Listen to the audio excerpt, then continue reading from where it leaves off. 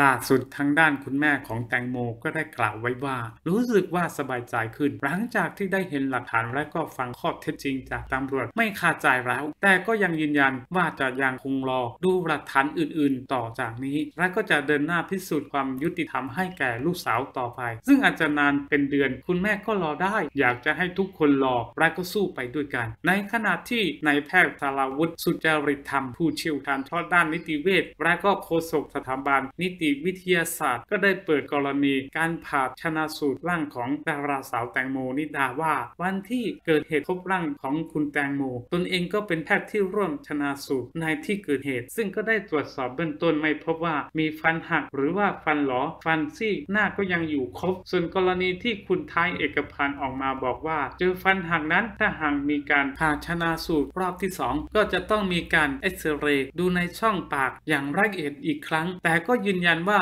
มองด้วยตาเปล่าไม่พบฟันหัก แต่สภาพศพแปรเปลี่ยนไปมาก ส่วนขั้นตอนของการผ่าชนะสูตรรอบที่ 2 ถ้าหากประสานงานเรื่องของเอกสารเสร็จสิ้น ก็จะมีการตรวจสอบเอกสารการชนะสูตรรอบหนึ่งภาพถ่ายต่างๆ และก็สอบถามจากแพทย์ที่ชนะสูตรรอบแรก เพื่อหาจุดสงสัยและบางจุดที่ยังไม่ตรวจสอบที่จะดำเนินการตรวจสอบก่อน